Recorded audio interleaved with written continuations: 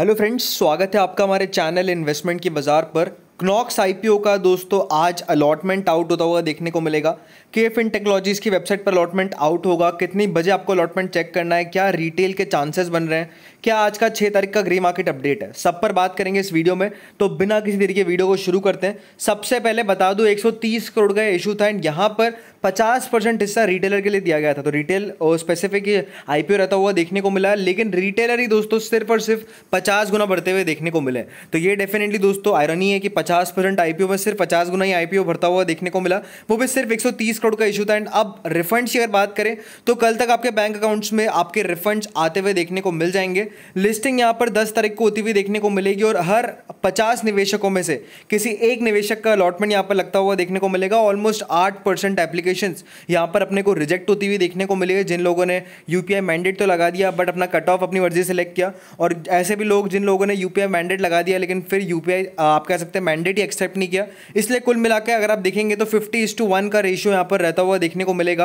And रही बात grey market premium की तो थर्टी परसेंट के आसपास का प्रीमियम यहाँ पर चल रहा है, यानी कि पैंतालीस सौ रुपये के आसपास मोटा मोटा मुनाफा यहाँ पर एक लॉट पर आपका बनता हुआ देखने को मिलेगा। एंड अगर अलॉटमेंट प्रोसेस की बात करें तो दोस्तों रात को आठ से दस के बीच में आप अपना अलॉटमेंट के फिन टेक्नोलॉजीज़ की वेबसाइट पर जाकर चेक करें। सिंपल सा प्रोसेस है गूगल पर जाकर सर्च करना है के फिन टेक अलॉटमेंट स्टेटस जैसे आप सर्च करेंगे, पहली लिंक आएगी, उस पर क्लिक करें। अला आईपीओ अलॉटमेंट स्टेटस की उसके बाद यहाँ पर link one link two link three कोई सी भी एक लिंक पर क्लिक करें, उसके बाद यहाँ पर अभी करेंटली आप देख सकते हैं टीबीओ कॉन का अलॉटमेंट आता हुआ देखने को मिला था। सिमिलरली यहाँ पर नॉक्स आईपीओ का अलॉटमेंट भी सेम ऐसे ही आता हुआ देखने को मिलेगा। फिर अपना एप्लीकेशन नंबर या फिर पैन नंबर या फिर डीमैट अकाउंट नंबर इन तीनों में से कोई सा भी अपना नंबर डालना है, उसके बाद कैप्चा डालना है और कैप्चा डाल के सबमिट पर क्लिक कर देना है। फिर एक विंडो ओपन होगी, वहाँ पर जाकर आप मालूम पड़ जाएगा कि आपको अलॉटमेंट लगा है कि नहीं लगा है। यही one of the trusted and verified method है फॉर अलॉटमेंट स्टेटस और इसके अलावा आई थिंक सो अगर आप बी की वेबसाइट पर चेक करेंगे तो वहाँ पर आपको डेफिनेटली नो रिकॉर्ड फाउंड आता हुआ देखने को मिलेगा। एंड इसके अलावा दोस्तों, आप अपने डेबिट के